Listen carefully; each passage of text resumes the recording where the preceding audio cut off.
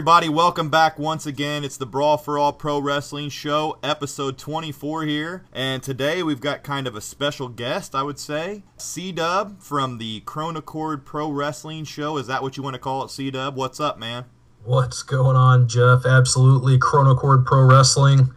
We are also here on YouTube. There will be a link in the description there. You guys can come check us out. Right. We do a lot of similar stuff to what uh, Brawl for All does here. Okay, cool. Can you just kind of maybe tell everybody how we met? Like, you just found us on the YouTube there. That's, I think, what I told them last week, so. Yeah, absolutely, man. Uh, was, of course, uh, we're just getting our start as far as our YouTube content is concerned. We've got a lot of good stuff out there. Yeah. But uh, as a pro wrestling fan, I was going out and looking for other fans who were doing the same thing that I'm doing, and I happened upon you guys, and I liked what I heard, and here we are. Well, I'm glad you liked what you heard. I just kind of wanted you to get that out there for the fans that are listening of how we met, too. So. Absolutely. Uh, we're gonna go at Extreme Rules tonight. Uh, go over Raw like we always do. The uh, aftermath on Raw, and then uh, we got some news and notes to go over. Quite a bit, really. So hopefully we can get this within an hour. I don't know what do you think, C Dub. We might have to go a little Broadway. Hey, Danny. it doesn't matter because who knows when you ever be back. So. Uh, Hey. Actually, Steven, Jeff, and Jason all busy tonight. We're unable to get on. Uh, I was going to try to get one more guy on here that's usually on here, but I think me and C Dub can handle it for this week. So, episode 24, it's a special Broadway episode. Yes, sir. I'll have to Ah. catch uh, the rest of the Brawl for Oh, yeah, and uh, you, the next round. Right, and uh, you might want to shout out where you're from, too. Yeah, I'm. Uh, I hail from Knoxville, Tennessee. Okay. Uh, and I'm also my second home is in the Tampa Bay area in Florida. I kind of go back and forth between the two, Yeah. but uh, Tennessee is my my headquarters. Yeah, because as everybody knows, everybody on the show right now is from Illinois, uh, all around the same area. So uh, Yep. glad to have an opinion from somebody from the Tennessee area because that's a rich wrestling history there. Most Uh, certainly, man. got, I can uh, go you on got for. Lawler's territory. Yep, you got Lawler. You got, uh, of course, Smoky Mountain. You got the Jarretts. I mean, Uh, you had Macho Man's territory around that area, right? that's right. Poffo- ICW Poffo- ran was around here. Poffo Southern Illinois? Yeah, actually, uh, he ran uh, Downers Da- uh, Grove. Downer, yep, Downers Grove. He ran Kentucky as well as into the uh, northern part. So of that's kind of cool that you know we're kind of connected through that territory on Illinois and through the Macho Man Poffo territory. Kind of went from uh, Illinois through Nashville, Tennessee, They did. or not? Nash- was it. Nashville or just Tennessee? I believe Memphis. the Poffos did run Nashville. I mean, from what I know, the Poffos, uh, the Because you had uh, you had Law. Sorry to cut you off, but you had Lawler in Memphis, correct. and then you had the Jarretts were running around Memphis too, right? Uh, the Jarretts ran Nashville more than Memphis. So uh, how did Macho Poffos get in there? Because they they had kind of a they were like the stars of their company. Well, yeah, basically, uh, Angelo, uh, Randy and Lanny's father, was the promoter, of course, a wrestler, and he ran what was essentially an outlaw federation at the time, which Right. Meant which which meant more than anything that they weren't aligned with the NWA, Right. and they didn't really abide by the rules at the time, where you didn't step on another territory's toes. They didn't give a shit. They just went right in. Right on. So they just kind of yeah, because I remember hearing like Lawler and J- they didn't really get along with the Poffo territory at first, Absolutely not. and then they finally ended up working together. I remember. So That's right. uh, I think I've seen the match on YouTube of Macho Man taking on Lawler. Yeah, those guys had some pretty good stuff in the late 70s, early 80s there. Right. And people don't even know that part of his career really when Macho Man wasn't in the WWF. No. So that's kind of cool though that the you know they're from Downers Grove, Illinois, and they go down into they have a name in Tennessee too. So Absolutely. so if you want to kick off, uh, you watched Extreme Rules then I'm guessing. Yes, sir. Watched it live. Uh, what'd you think overall of the whole show? Overall, I was pleased. Honestly, the build up to it was about as weak as it gets. It which, really was. Which that's something I kind of expect. That's usually the post WrestleMania hangover. They they sort of withdraw and then they kind of pick up steam about midsummer, building into SummerSlam. Do you have any views on uh, PG? Well, uh, there's no denying that WWE is certainly more geared towards kids than it ever has been. But to me, if they really want to do the biggest business that they can, they need to appeal to everyone. Yeah, because you you've probably heard Steven on here. He he really hates the PG, and he really can't hardly even watch anymore. So I just wanted to get your opinion on what you thought of that. I would say that they've got a lot better with it recently. I mean, there were some times there from like 2009 through about 2012 where Raw was pretty un just unbearable to watch. It really was.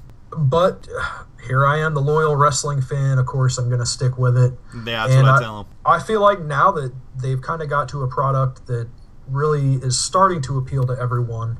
You got NXT, which of course appeals to the the work rate, the internet wrestling fan type, the typical wrestling nerd like myself. Right. and then you have the more mainstream uh, variety show in Monday Night Raw.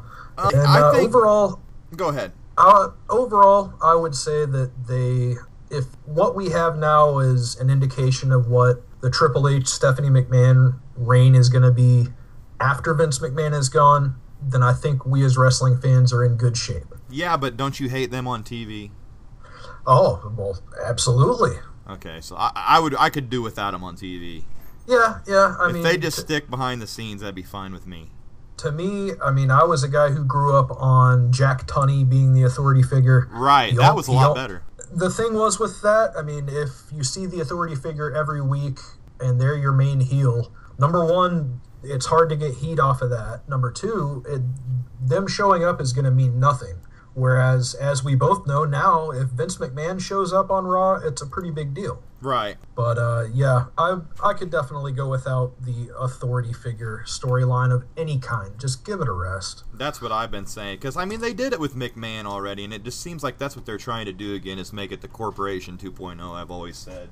Absolutely, yeah. It's definitely reminiscent of the uh, McMahon Helmsley era from uh, like 2000, 2001 ish yeah, it really is. Man, they're almost feeding right off of that McMahon Helmsley deal. So I've never really thought of that. Yeah, a little Jeez. bit of foreshadowing. So we've already had it. Like this is this is version two or three. Well, or what I, I I thought whenever they first finished off, they should have just kept it off and never brought it back in the first place. But that's just my opinion, and we have what we have. So absolutely. Okay, so getting back into the pay per view since we got off point there, but just wanted to see what you had your your thoughts on PG because I, I, do love NXT and everything, but man, lately it's just like they need some brutality. I think towards the product a little bit because they're missing that kind. They're missing that point in my opinion. Yeah, definitely. They, I mean, a little bit of blood would help. You know, in, in certain situations, like in that Brock match at Mania, it really helped. Yeah. So that shows you right there that it could help once in a while it's good to add that extra little element of realism and uh, maybe a chair shot here and there maybe. I don't know. I, I, really don't want to see guys getting concussions from chair shots but every now and then couldn't they do one? I feel like they could do it and cover up correctly yeah to the head rather than always to the back and they don't have to swing like a full out shot i mean. No no, I just hate constantly getting chair shots to the back. And the, the, I mean, the worst is like the little jab with the top of the chair to the gut. Yeah. I mean, come on. But man. just keep hitting them in the back, hitting them in the back. It just gets stupid. Like you would never just sit there and hit the guy in the right in the back. Nope. So, okay, so we had the kickoff show, and they announced that Neville will take the place of Daniel Bryan and uh, Daniel Bryan was medically unable to compete. And as far as I'm concerned, I think he's out for a while now. I think they said over a month he's going to be out, as far as yeah. you know. So, what's your thoughts on Bryan being out? That I kind of need to get the belt off him. I thought last night would have been a b- perfect opportunity for them to just strip the title then and have a match. I did as well. I uh, you could almost have just thrown the Intercontinental title as being the prize for. Of course, tonight is Tuesday. We're recording this. Right, right. For the the King of the Ring tournament. You could have. You could have. I don't know what they're keeping the title on Bryan for. Well, hopefully that the, that's an indication that whatever this issue is, it's something that we're not certain of what it's going to be, or it's not that serious. To me, man, I mean, whenever you look at everybody on the WWE roster, there's some people that are easy to cheer for as characters, and there's other people that are easy to cheer for as human beings. Right. And Daniel Bryan's one of those guys that I genuinely want to see do well in life, no matter what he's doing. Right. Uh, it goes without saying that he's had a, a excellent career, uh, even before he ever made it to to uh, WWE. Yeah. I always liked uh, Bryan Danielson. I did too. The, the American Dragon. I used to read him absolutely. about him in the Pro Wrestling Illustrateds and everything like that back in like 02, Yeah, man. 03. And I was really Yeah. high on the guy back then on coming into WWE. My only problem was his size and still is. I just think he's kind of unbelievable with the size wise. He is uh, definitely. You got a guy like- like Neville who's undersized, but man, his girth makes up for it. He's big, you know. He's almost Neville's- like a Benoit type, I'd say. Absolutely. I would agree. He's very reminiscent of the Dynamite Kid to me. Yes, yes. So he's almost like a like coming from the same cloth as those guys, which they were a little bit bigger Yeah. in the stature, was short. But you know, Bryan, he, he's stature short, and he's not even that big. It just makes him look even smaller. Like when he fought Kane last year, I was like, gosh, Yeah. how can this Yeah, guy be can- heavyweight champion? That's true, but So uh, also I, I don't mean, ever see him getting back in that heavyweight title contention again. I I would say not anytime soon. Uh, to be honest, I would be surprised if we see Bryan Danielson, Daniel Bryan, finish out 2015 Dude, as an active competitor yeah, in the I- WWE. I think it may be the end of the road for him if he's out again with another surgery. and to be honest, as I was kind of getting at earlier about him being a really likable, genuine human being, Right. I would rather see the guy go be a success as a husband and a father and whatever he chooses to do and not have to live with the deterioration or qual- of his quality of life. Yeah, it's really bringing his quality of life down already, in my opinion. Like I've said since the get go from his return at the Rumble, that he's not looked right. And No. that was the reason that WWE has not been using him like everybody was thinking they were going to use him. I mean, everybody wanted him to win the Rumble, but it was physically unable to win the Rumble. Definitely. I mean, it's it's it's hard for them to put all their chips in on somebody whenever they're not sure that he's going to be able to go six. So, do you later. feel like he was rushed back? I don't think he was necessarily rushed back. I I, think I they kind of do. They wanted to get him into Mania, so they had to throw him into that Rumble and get him back in the Mania mix by Mania. I think he was kind of rushed back. Maybe they should have waited a little bit, and not even had him come back at Rumble or the or Mania and waited till afterwards. I mean, he would have been perfect for the night after uh, WrestleMania for the big return, right? Right, and it would have gave him more time to heal up and see if he could go. That's true. Even if they Uh, put him on TV before then, they didn't have to put him in Mania as the Intercontinental Champion. no, absolutely not. I mean, he could come out and do any number of things, you know, or not appear at all. Okay. But I feel like that they kind of brought him back because if he wasn't at WrestleMania 31 after having that huge WrestleMania 30, it would really be a kind of a down point on his career. right. Perhaps that was some of the motivation behind it. Right. So, um, getting on to the match because I think we talked enough about Bryan, and I don't know. It's going to be interesting to see what happens, and I guess we'll keep people posted on what happens with him. So, I don't know. It just depends on if he's going to be out. But if he is out, I can see him not returning and being gone for good, like you said. Yeah. So it, it'll be interesting. It, I, I do see an intercontinental vaca- vacancy coming too. So For sure. um, that could happen by next draw if they know. Um, Yeah. Bad news, Barrett Neville. I thought it was a good kickoff show match. Um, was. I, I kind of liked that this match got moved to the kickoff show, so they put the uh, tag team match on the main card. I really did because I kept saying here for I don't know the last few pay per views, why do they always have the tag match as the kickoff show? Yeah, and uh, obviously we'll get into it here shortly, but I feel like the tag team match tonight was Oh, it was great. it was great, and I feel like that the and, and that's not a slight against Barrett or Neville, Right. Because th- as you said, that was a fantastic opener. The crowd is super into Neville. The uh, problem I had with it was the commercial break right in the middle of the match. Uh, I didn't That- understand that at all. Uh, I'm Yeah. just saying right now they need to quit doing that.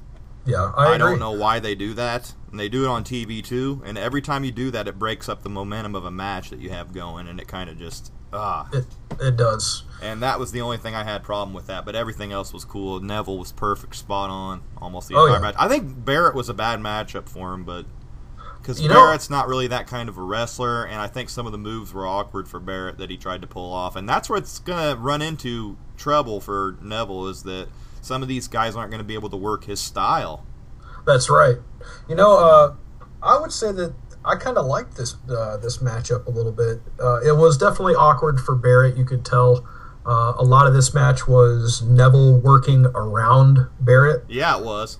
Uh, but I feel like the psychology between these two in the match, these guys had excellent hope spots, cutoffs, false finishes. Right. Uh, and the finish of the match was awesome. Uh, Neville, of course, beat Bad News Barrett with the red arrow. Right. I didn't even mention that. So. And uh, wishful thinking on my part, in my notes here, I had that I really look forward to more from these two blokes from the UK. Yeah, they and, And- that's another thing I was thinking. These guys are both from uh, England, so I was Yeah. thinking uh, Bad News Barrett probably didn't have any problem putting Neville over. Probably friends from the past. I would say so, and uh, I believe he uh, had the favor returned. Yeah, uh, we'll talk about that. I was going to say he returned the favor later, so we'll talk about Most- that. Most definitely. Um, but anything else other than that, I just think that was a pretty good opening match. Could he could have went without the uh, break in the show? I don't know why they do those commercial breaks in the middle of the match. yeah, I'm not um, really a fan of that either. They had plenty of time to get that in before or after. I don't know Yeah. what that was for. Even my friend Steven that does the show, he texted me and like commercial break, yeah, really? And I was like, you know, I thought the same thing. So I agree, man. Uh, as far as uh, anything else on the match, I feel like Neville is going to be a big time player in the next year or so Yeah. for the. WWE. And we have plenty more to go on talking to him about Raw and everything like that. But it was a good overall showing, I thought, for Definitely. the match. So we'll get more Neville in here soon. Um, Ambrose Harper. Uh, I thought it was kind of a ridiculous finish to start it off, and you could tell the crowd was really pissed off Yeah, uh, when I- they when they went backstage and he jumped in the SUV, and then Ambrose jumped in, and they just drove drove off, and and then it just kind of went to no finish. The crowd just instantly booed.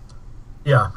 To me, I mean, if you're going to do that, you're going to have to do something to like keep the crowd interested in it between. Or if I you're going to have a payoff with that, you got to have a bigger payoff than what they did because we can go ahead and just say it right now. They ended up Yeah. coming back of course. and continuing the fight, but it was right there at the building. Like I, I would have loved him to show up, you know, at like Wrigley Field or something. Would have been great. That would have been awesome, and that's something that they could have done on a pre-tape earlier right, in the day. right. I just didn't get this break at all in the match. No. It didn't help the match any, and when they got back, you know, it only lasted a few minutes. They filled up the ring with chairs, and he did that power bomb on Ambrose, which was kind of impressive onto the chairs. But then Oh, yeah. Ambrose hit that dirty deeds, and I thought he was going to hit it on the chairs, but he didn't even come close. So No, he actually cleared out a nice little spot there. right, so and and that was so quick. It was like, what's the payoff for them jump, jumping in that SUV and taking off and getting that kind of crowd reaction? Because you could see that on the next um, segment, they had Triple H doing that. You know, telling someone to go find Ambrose and Harper on the phone.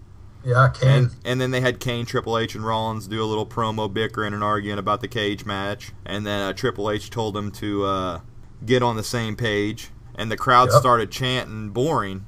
yep. And did you notice that they uh, noticeably muted those chants? oh yeah, dude, you could tell that they They cranked down the immediately. they cranked down the crowd and up. Well, they let it go for a few seconds, but then they cranked the crowd down and up the audio big time, and you could just tell. It oh yeah. So they didn't like Uh, the uh, they didn't like the boring chants. Nope, Kevin Dunn did not like it. So he dropped the boring chance. I did want to note that. So Yes. the crowd did, was not into it by that point. I'm at that point. I was like, this is a bad opening. It was kind of to me. I mean, That's It was one problem I had but- with it. That's one problem I had with the pay per view was that match. I just was like, I, I expected so much more. yeah. To, to me, the best things about the match were that. Uh, to me, these two guys are the the kings of the best facial expressions in the entire federation. Ambrose and Harper have these weird looks. And they Um, do.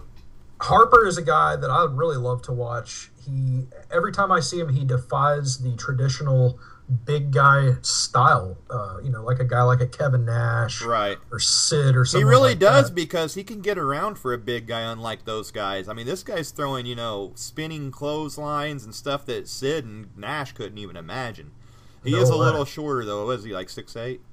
I think so. Yeah, Okay. but uh, We had no Yeah, no I mean- appearance. I, was gonna say no appearance from the Berserker either. no, no berserker, no huss, huss, huss. I was severely Not even not even on Raw. No, But I had to get that in there before I forgot.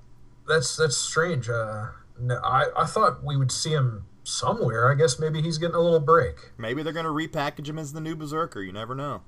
Hey, I'll I'll hold out hope for that one. But as you were saying, so th- this match though, I mean, just fell To short me- of fell short of expectation. Let me just say that. It did. I did Uh, like them fighting back up through the uh, ramp and stuff, though, and up through the backstage area. I thought that felt like a lot of attitude era right there. Ah, that's ex- you stole the words right out of my Yeah. mouth. That that part of it kind of took me back to the old Attitude Era, twenty four seven rule hardcore matches. It did. It did. It was cool. But it just- didn't have that great payoff. No, like, not a payoff at all. And when they came back, they didn't really capitalize on what they had going. I mean, that really could have paid off good if they were in the actually in the streets of Chicago, like you thought they would end up. yes, like, what did they do? Just drive around pulling at each other, or did he jump in the passenger side and say, "Just go back to the arena and we'll keep going"? Or Yeah, that I mean, was. how are you uh, going to fight in an SUV for that long? Yeah, it's kind of hard to suspend disbelief whenever they do stuff like that. You're going to fight for that long and then come back is what I was thinking. Yeah. Sheesh. So they could at least done something in the parking lot or something. I don't know. It was bad. But uh, yeah, Ambrose gets the win later on. We don't even have to talk about that. Uh, Yep. So after that uh, promo that I talked about the chance, then we had uh, Ziggler and Sheamus in the Kiss My Arse match. Now I was saying that uh, possibly no one would get their arse kissed, Yep. and it almost happened, but uh, it, it ended up with uh, Sheamus getting the pin, Mhm. and then uh, Sheamus uh, low blowed Ziggler instead of kissing his ass like he was supposed to, and then Of Sheamus course. bro kicked him and picked Ziggs up and uh, forced him to kiss his ass, which I don't know, looked to me like didn't look much like a, a ass kiss to me. He was It was it was more like an outer hip thigh area, and and his fore more more forehead than anything of Ziggler. wh- which I guess uh, that's all the more lucky for us. That's perfectly fine. It was fine with me. I, I just didn't see the point of either one of them wanting to have their ass kissed. So this whole kiss me arse. Oh, kiss me arse, fella. yeah, you're gonna kiss my arse. It's PG era. I didn't get it. I mean, the last time we had a kiss my ass match, we saw Billy Gunn's face in a large woman's ass. Nobody was entertained, I assure you. And, and what an extreme rule too. Like Yeah. on. wow, they came out with it. That's extreme, man. You know, to to me the my favorite thing of this entire match happened before the match, and that was Eden's introduction. It was so awesomely awkward on purpose. She's the following is Hey, a kiss my arse match. kiss me arse match. Where was Hornswoggle during this anyway? Like, Uh, he must have been in Little People's Court under he, the ring. he could have done something there. They, they thought he was going to come back on Raw, but he didn't come back. Uh, I did be- see I did see some speculation on him returning because he like posted some picture about him heading to the arena or something. I don't know. Uh, I'm always open for more Hornswoggle. I don't know about that, but uh, but uh, Sheamus though, did you see at the end his mohawk lost all of its gel? And I was thinking, I was like, what a mop top, dude. Yeah, he looked like a uh, a game rooster. A large Oh, my albino Lord. game rooster. He say, does man, look straight up stupid. I'm surprised Vince didn't see that haircut and go, "God damn, pal, Red Rooster 2015. Can you cluck like a chicken, pal?" I think we're going to uh, bring the uh, Red Rooster gimmick back for you. Let me call Terry in here and see if this is gimmick infringement. Yeah. Oh God. Terry. Taylor, Hey, he made our hey. he made our worst gimmicks. um, rightfully so. I hope he was near the top. Oh, he had to be the the, Uh, the huge cock, the giant cock. Yes. You know, I gotta say, the only thing that I really like about this new look Sheamus is his attitude. I felt like He Sheamus being this the for happy. a long time. Yeah, It- It's been overdue, man. It's yeah. really he been was overdue. getting to be like a real Muppet, like a real life Muppet. he was. and that's very apropos. Ever since they put that Muppet on TV that looked like him against him, I was like, he's a real life Muppet now.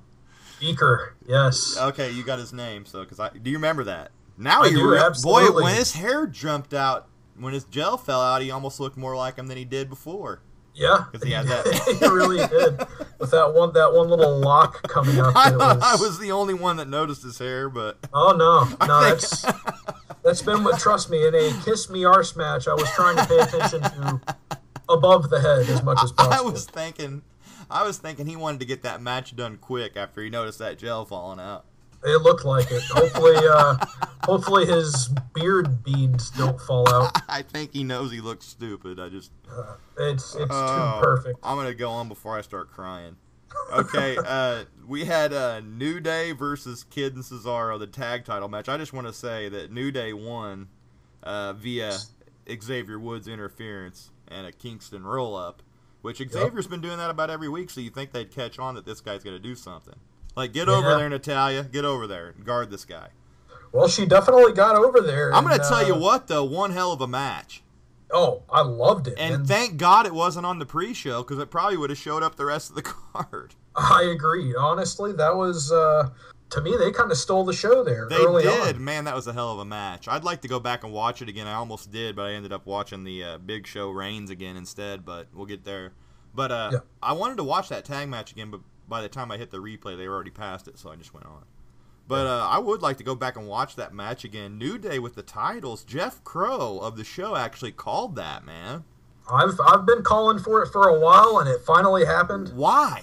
I, I like New Day. I mean, to me, it's all it's all about the big payoff whenever they finally just lose it. Okay. They're like, "You guys are a bunch of idiots. The hell with you. No more happy." They blah, do blah, have blah." talent, which people aren't really looking at. Yeah, I would have to say it, it's kind of confusing as what they are. I mean, is it's like my friend Jack said on one of our uh, WrestleMania discussions. Are they a gospel group? Are That's what I thought. At first. That's what I thought at first, is they were supposed to be this gospel group, but then they came out there without even talking in their debut and stuff, and I was just so confused for months about what these guys were doing. I still am. yeah, and of course now they have the clap. New Day sucks. New Day. Yeah, that's right. Yep. Biggie, Kofi, and Xavier Woods God, I hate Biggie. have the clap. Yeah, they Big- do. They got Biggie. Biggie, Biggie. Can't you see? Do you like Biggie? I, I, I kind of like the guy. It's something. Of, I don't hate the guy like personally or anything. I just don't like his character right now. But No, his no, his character is kind of bland, but on Twitter the guy's hilarious. And to me, every time he hits that spear, uh, on, you know, like we saw in this match on the Tyson Kidd, yeah, spear somebody off the apron. Anytime you see somebody that big just flying through the air, I always mark out. did he go all the way through the ropes on this one? He did all the way through. See, I didn't see floor. that. I, I missed that spot. Yeah, it was uh, it was near the end there. It was uh, That's pretty impressive. I remember he did that against Rusev or something the first time he did that, and it was pretty impressive. Yep, But I've never seen a guy that big pull a move like that off. he's a beast, man. Yeah, he is. So I guess it shows you why he's there. Definitely. So after that, you had that little promo spot where the uh, SUV pulled up, and New Day did get splashed by Ambrose from the top of the SUV. I must know. So that was their first uh, moment with the titles. Yes, winning Sucks. squashed fellas. I don't see him having it long. I would say probably not. I I think they're probably going to be transitional champions to the Lucha Dragons. You think? And then payback, they're done. Maybe a Uh, maybe a triple threat or something at payback. Triple but- threat, four way. Yeah, because you can't not have Kidd Zaro get their tag match. of course. I mean they have the automatic uh, rematch clause there. So Okay, well, moving on from that, we had uh, Cena Rusev Russian chain match. I thought it was blah, man, really, for a Russian chain match. I had to. Uh, I'm gonna have to agree 110. percent It was the to me it was just like watching a mid 1980s NWA match and not in a good way. Yeah, no blood. Um, it, it was just slow, you can't have you can't have no blood in a chain match. No, and and also it was the four corners rules chain match. Yeah, I hated that. And then they had the gimmicky lights that lit up. Oh, I hate when they do stuff like that. Yeah, and you know, at this point, I was actually watching this event with my uncle Ray. Right. And oh, I bet it- he threw up during it then. Well, not quite. He he's not really like a uh, you know a hardcore wrestling fan. He's more of a casual. But he remembers when it was good. So Oh, absolutely, definitely. But to him, it was like you know I was trying to explain the rules to him, and he's just like, I don't get it.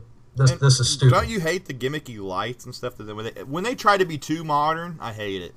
yeah, I Just mean, stick to the way it is, guys. You don't have to have a light on each pole.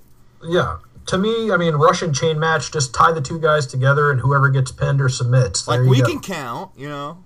Yeah, that works. that works. We can count without a light up there. Yeah, but Oh, this, this man. this was definitely not a Nikita Koloff No. classic Russian chain No, match when they all. when they actually did plug that, you know, that they had one before, like Nikita Koloff and whatever, Ivan Koloff. Yep. Uh, I kind of laughed because you know you go back and check that out as a fan, and you're like, wow. And then you know they're bleeding all over, they're beating the shit out of each other with a chain. Then you go watch this, and you're like, wow, they really lessened their own product by saying that, in my opinion. Uh, well, they pretty much cheapened the gimmick as well. Yeah, they did. So, So uh, Cena wins by touching all four corners. So where do- where does Rusev go from here? I know next night on Raw that he's going to have another match, but I mean, Yeah, not to give um, away any spoilers, but we're going to be talking about it anyway. So yeah, Rusev does have another match in his future. Um, we'll kind of get to that more. I, I can't. Can you actually see him winning this next match though? I just I don't know what they're going to do with Rusev, and now it looks like they're going to transition Lana away because, like I didn't say, he sent Lana backstage because the crowd was uh, chanting for her and she was acknowledging it during the match. that was pretty hilarious. I Uh, thought. so it looks like they're transitioning Lana to break up with Rusev. I'm not sure where she would go unless she actually became an in-ring competitor. That or joins the Authority outright. Ooh, now we're thinking, aha. Because we did have later on Rusev cutting the promo, and then uh, Lana came up, and uh, wasn't he yelling at her backstage? Yeah, he was Oh, yeah. yelling at her backstage, and then In- uh, in La- Russian, yeah. Lana nodded sadly, and then walked off, and then she knocked on a door, and when she was entering the door, they panned over and showed that it was the authorities' room. Yeah, and then mysteriously, I mean, I don't know what she did to get a, a yeah, match. and signed. then later on she came back, and when Rusev was cutting a promo on Cena, and Lana came in the middle, and she said that she the I Quit match has been set for payback. So what That's did she what did she do with Triple H for that? um, I'm thinking a good old fashioned. Did they even show? did they even show Triple H or Stephanie out throughout the night? They yeah, did they, yeah, they did. They did in that cell phone segment. That that was basically it. Yeah, I, I mean, was he even at the place? I don't even know Uh, maybe it was because he wasn't Stephanie. on. He wasn't on Raw, no, he wasn't. and neither That's was right. neither was Stephanie. So Strangely enough, by their absence. Yeah, I just That's was it. kind of confused that they weren't there for the pay per view or the Raw. I mean, he could have been there for the pay per view, but it was just that backstage segment, which could have been pre shot. Yeah. So, continuing on from that horrible chain match. Like, so far, like, the pay per view hasn't been very good other than the New Day match. Yeah, and so, I'm I mean, giving you this, I'm giving an average on this pay per view, really. I would say uh, about the same. I didn't go into it with very high expectations. I never do on these. Uh, not on these. Uh, No. If it's one of the original Big Four Survivor Series, SummerSlam, Rumble Mania, Yeah. they better, they damn well better deliver. But Yeah. on something like this, hey, it's hit or miss. Hey, it was better than Fastlane, the worst pay per view of all time. Fastlane was almost as equally terrible as the Over Limit pay per views. Oh, over Which- the limit. Which I'm not even gonna uh, get into the timing of naming a pay per view over the limit after a slew of your developmental talent down in Tampa get DUIs. Oh, I mean, what is, uh, are we gonna have a breathalyzer challenge? All right, Batista, you pounded down three twelve packs. I think you're the winner. did he get? Did he get a DUI? I, I don't think Batista did. Uh, I know there was quite a few. Uh, He was people just down there club. He was, he was just clubbing still then. definitely, Okay, definitely. the clubber. Although, uh, although I will say, just as a little sidebar, I feel like if Batista were to come to like a keg party, he would just drink the entire keg, bang everybody's girlfriend, and leave. yeah, and I wouldn't even try to fight with him. I, I wouldn't even be mad. I'd just be like, "See you, Batista. Have a good one, buddy. Thanks, Don't- thanks, thanks for not ripping my fucking head off while you're here. You know, Thanks, man. this guy, the guy is un- unbelievable for his age. How big he is and strong still. It's just unbelievable. So, uh, did we talk about Nikki Bella and Naomi? No, Naomi for the title. We we didn't. We did not get to mention yet. Okay. I'm going to go ahead and jump right in. One hell of a match. Hell of a match. Naomi has glowing shoes. Oh boy, I was being sarcastic, but Nikki wins via rack attack and uh, Brie's help. But, yeah, but uh, Nao- that- Naomi no surprise there. Naomi did debut a new theme and New theme, new new attire. look. I do like the new Naomi really better than the old. So I like the old Naomi as well. The, uh, for many many reasons. okay, so you don't really like the new Naomi? No, absolutely. I, Okay. I mean, as far in the ring, she's the shit. Yeah. But uh, she's great to look at, as are all the divas. she's not the greatest in ring. As I thought she was better in the ring than she was. She's better than a lot of them. I mean, we don't have like a I whole think she's roster. becoming she's becoming more exposed now because she's just they're trying to push her. Yeah, definitely. And I, I feel like you know, I I like to joke about the Divas division, but It is bad. It, it's bad. But at least we don't have like Ashley Massaro and Kelly Kelly every week. Yeah, you've got to go back to the days too, like the Attitude Era when those girls were wrestling. They were the worst matches you've ever seen. Oh, I can I can go back even further to Velvet McIntyre and freaking Fabulous Moolah. But at least Moolah and them actually wrestled hard. Like these girls in the Attitude Era were. I don't know. Some of those matches were pathetic if you ever go look at them. Yeah, definitely. Like I, we can Medusa- talk all day about divas. I don't know. Medusa was better than any of those girls in the Attitude Era. She was Like I said, man. she could have fit in good today. Like wow. Absolutely, she kicked ass in Japan. If she could, if I'm perfectly certain that if you can get over in Japan and handle it, you can get over anywhere. Yeah. So um, we're gonna move on from that because I don't think there's much to go on over there. We talked about you know Rusev's backstage. Then we got uh, Big Show, Roman Reigns, last man standing match. Reigns speared Show through the announce table. He stood on it and counted down with the ref for the win. Now the only thing I found funny here is it seemed like Big Show could have just took that freaking announcer's table with one arm and tossed it off him. So Of course he so, could. so did Roman Reigns like mid, you know, thought think, hey, I need to go stand on that to make it look better. I don't know what was going on there, but Uh, uh, well, he did, and I mean that was good that he did because it looked pretty ridiculous before that. even with him standing on there, Big Show could have probably tossed it off. easily, Yeah, easily. but I did. That match was good though. Probably, was, probably uh, the best match that Reigns has had so far. But can so, he do too. that without the gimmicks? Though is what I'm thinking. Like, I don't Yeah. know, man. You give this guy just a straight wrestling match because even in the Brock match, it was good, but he just took a straight beating. So you, I, I don't know. I want to see this guy wrestle without any gimmicks. I do I too. mean, how many tables and stuff did they go through in this match? It was a hell of a match. Enough, yeah. I, dude, to me, I mean, it's kind of like you said. This is one of the best matches that Reigns has had, and I kind of credit Big Show. A lot I know. I'm going to say something too. That Big Show kind of redeemed himself with me on this match. I thought, man, I hate Big Show. He can't do anything. But man, this guy was uh, taking slams off the top rope and everything. I was like, geez. Yeah, it, he was definitely on. I, I cracked up at one point in the match. He goes outside uh, to the announce table Oh yeah, and takes the notes and says, "What do you mean Big Show needs to lose weight?" smart ass. I thought that was freaking I did too. What do you mean Big Show needs to lose weight? Smart ass. and then he's like, that's yours. Cole said to JBL. That was pretty hilarious. I don't know, but overall, this match was probably the match of best match of the card. I'd say that and the New Day tag match. I would agree.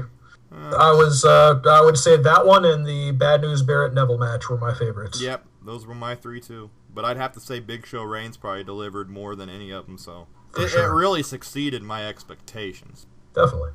exceeded my expectations. So, um, we had the Kane Orton backstage segment. Uh, he kind of claimed he wanted the old Kane back, pretty much. Yeah, and you know, I've noticed here recently we've seen Kane's mask shown on camera a little bit. Oh, I didn't see that. I noticed it on the Go Home Raw 2 uh, Extreme Rules that it was there in the background. So, Really? or it, Man, no, that's like an excuse me, Easter it- egg that it- nobody knows. I, I think it was on Extreme Rules actually in the background. A little Easter egg. I, I'm pretty sure I noticed it. So, if it, to me, if that's there in the background, it's there for a reason. And, and do we need another turn? Like, At this point, I mean, Big Show and Kane have been turned so many times. It, I, the damage is done. I'm sick of them, really. So Steven loves laughing at me about Kane and Big Show. But he's just Yeah. he loves everybody hating him, and they just keep rubbing it in our face.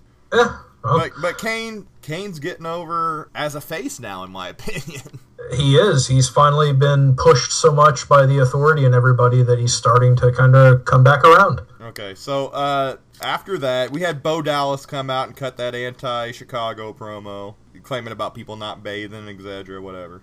Uh, then Ryback came out. Bo beat Ryback down, and then he did that mic botch. Did you see the mic botch? And he just screamed it out instead because he couldn't find a mic that worked. Yeah, That was kind of fun. that was funny. Well, as I was saying. Okay, and then Ryback interrupted the uh, mic botch and got him with Yes. a shell shock. So that wasn't a match or anything. It was just a beat down by Ryback, which he'd try to get payback the next night. So yeah. uh, I don't really have anything to say about that. Dallas is just being used horribly. I don't know. They could do something else with him. They're going to have to do something with him if he's ever going to be a credible threat. I mean, if he's ever going to be more than just a job guy, they're going to have to give him some kind of win of some sort. Right.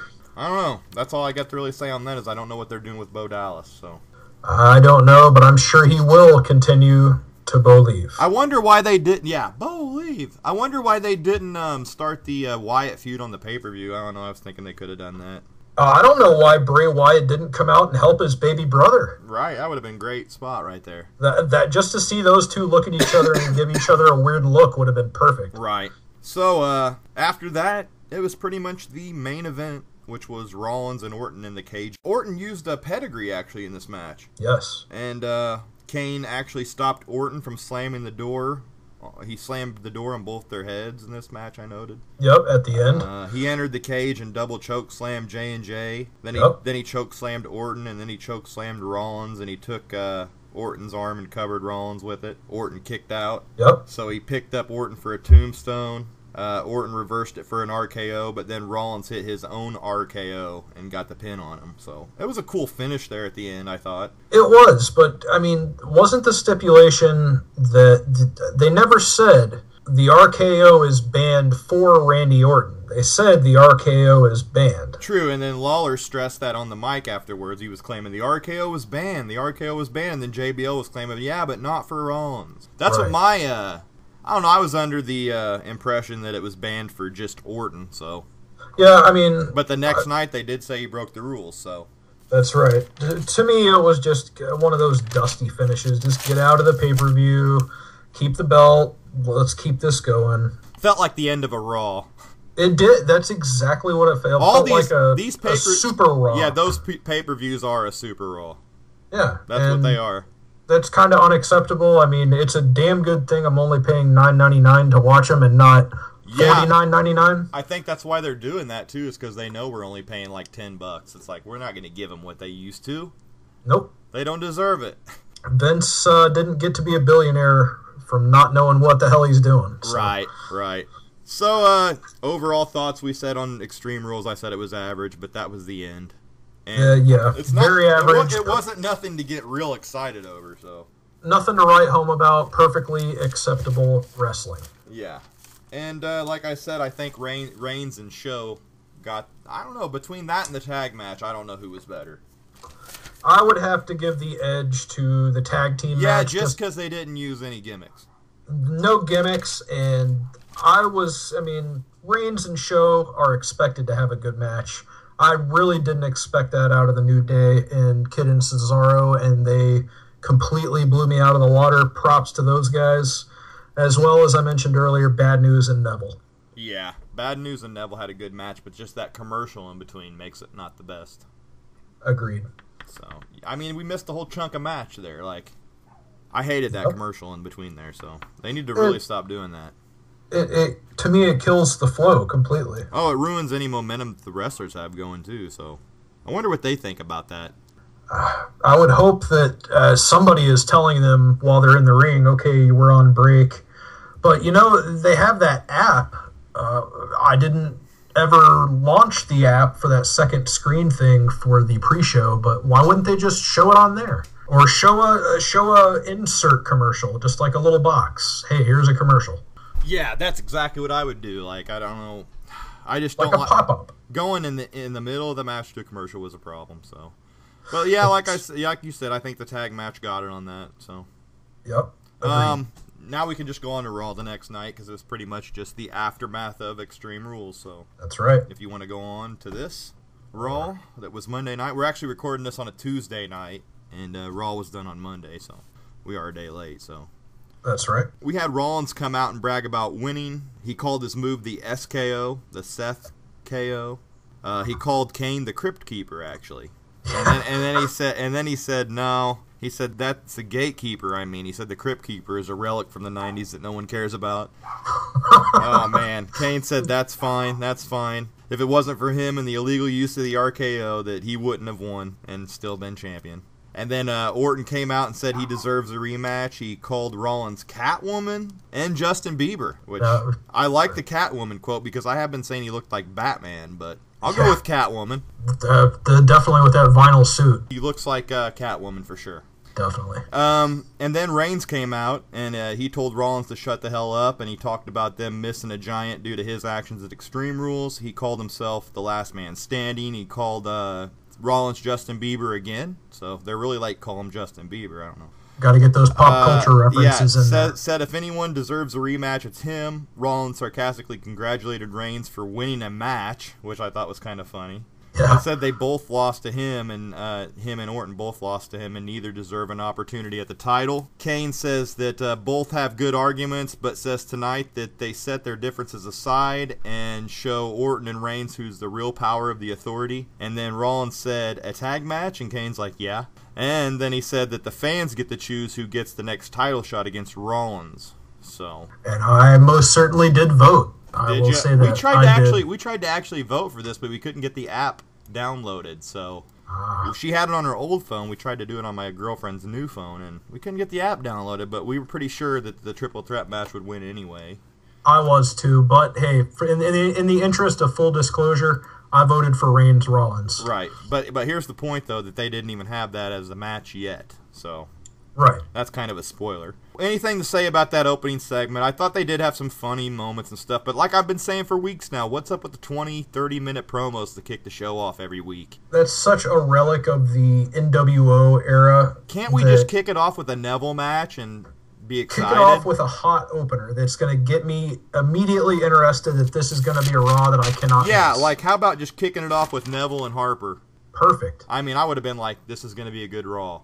They didn't need this 20 minute promo out there. I, I just don't. It had no purpose really. No, I, I tell you what, I would love to see once for a change is a match joined in progress at the beginning of Raw. Even Yeah, have the guys already in the ring, already going. Anything is better than a 20, 30 minute promo at this point. Like every week they're going to do this every week. Yep. So at least it wasn't Triple H and Steph out there, Thank goodness. which, as I said, they were nowhere to be found on this show. So Oddly enough, I found that weird. Definitely. They're still out. I thought they were supposed to be back by this point. So I don't know. I didn't ne- never got any news or notes on that. Although I didn't read any news after I got off work tonight. So I haven't seen anything uh, of note necessarily regarding them. I thought they. I would have to assume that they maybe had to do a public appearance or something to do uh, with business. Or maybe they had to kiss somebody's ass. Who knows? Maybe.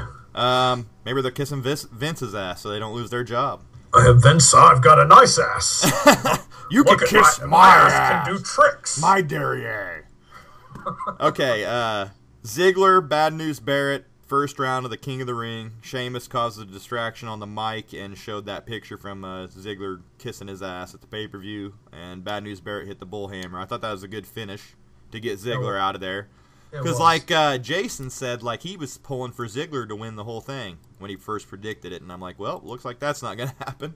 yeah, Because I could have So gave a good that. argument for Ziggler being the king of the ring, but absolutely. that That, was would not be a, it's historically it is at one time at least was a great uh, launching pad for great stepping to stone. I mean, that's where Austin 316 was born. absolutely. I am glad they brought the king of the ring back. I am too. I'm a huge mark for tournaments of any kind, and this was great. As we said earlier, it would have been nice to see Daniel Bryan vacate the Intercontinental title and there be something more of a prize in there other than a crown. Right. Um, as we said though, like this was a Monday night, and then tonight, which we were recording the show, they started at like six central. So uh, the tournament is already finished, and we will report that after the last match we talk about on here. What happened on King of the Ring? So after that, they plugged the Orton Reigns versus Rollin, Rollin and Kane's match at the end, Mhm. and uh, they plugged New Day coming up. Then we had uh, Biggie and New Day versus, or it was just Biggie with the New Day against Yep. Kidd with Cesaro and Natalya. Uh, Biggie hit a clothesline after Woods held his ankle and allowed the pin. Uh, he hit a clothesline and then Woods held the ankle down and he got the pin. So That's right. okay. Oh. So regardless, Once again, Xavier Woods running the interference. Uh, hey, at least New Day is getting some kind of reaction, even if it is New Day sucks. right? New Day does suck. I mean, Uh, the gimmick sucks. for yeah, sure. it really does. And and here's the thing though. I mean, it, it, this match was just to keep the feud going for this week. yeah, So it was. Really had no bearing other than that on the show. I would have loved to see a tag title rematch right there, right off the bat. I Cesaro and Kidd versus. I really E and thought at first when they came out that's what was going to happen, and then I'm like, nope, it's a singles match. Yeah, I would assume we'll probably see that at the pay per view. Yeah, I'm saying payback, maybe even Lucha Dragons in there. It does seem like they're going to push uh, Kidd and Cesaro and Natalya as faces, though. They got over awesome. I mean, at, at Extreme Rules, they were the faces. Right. So do you, thi- do 110%. you would you say the full face turn for them now, or do you think they're still wondering? I think they're still a little questionable, but I, hey, I, that's a team I could get behind for sure. I mean, those New, guys are great. New. Day obviously is the heels. They have to realize that. They have to be, even if they are like the troll, not officially heels. I mean, Right. they're definitely hated. So Yeah, they have to know that. So, moving on from that, they showed shots from uh, Cena and Rusev's chain match and the Lana storyline that went along in it. So, yep. uh, then they went on to Bo Dallas versus Ryback, which we talked about the night before, and uh, Ryback won with the shell shock. Um, what was cool about this, though, the lights went out. Wyatt showed up with a dimly lit ring right behind him and uh, hit him with the Sister Abigail. Uh, Wyatt stood over him with his arms out, talking, you know, doing his uh, gibberish like he does. I thought that was cool as hell to set up the Ryback feud. I like it. Uh, I think this is going to be something that's going to really elevate Ryback. Uh, Bray Wyatt's a guy who can, to me, everybody he works with, uh, it usually turns out pretty good. Uh, I liked seeing Ryback just immediately charge Bray Wyatt once he saw that he was behind him, and Bray just rolled right over with the sister Abigail Yeah, that and was put a him good. out. That was a good Abigail. That, that that was great, man. Um, I also like he got involved in his brother's match, like we talked about. So, Yeah, but Bo Dallas being buried once more. He did come out talking a bunch, Bo Dallas, but I didn't even know what he said. So, uh, it was nothing of, of I any think he was importance. talking about Extreme Rules. That what happened. I'm pretty sure it went something something Bo leave. I do like how whenever he showed up in the ring, that they left it like dimly lit, like just the spotlight on him. yeah, the creepy light, Yeah, that was cool. definitely Um, that should be his trademark, you know.